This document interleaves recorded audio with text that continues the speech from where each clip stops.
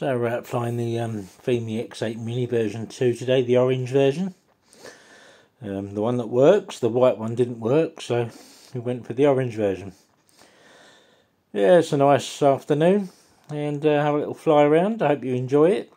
Um, unfortunately, I didn't get the colours right. It's a little bit dark in places, but um, hopefully it's not too bad.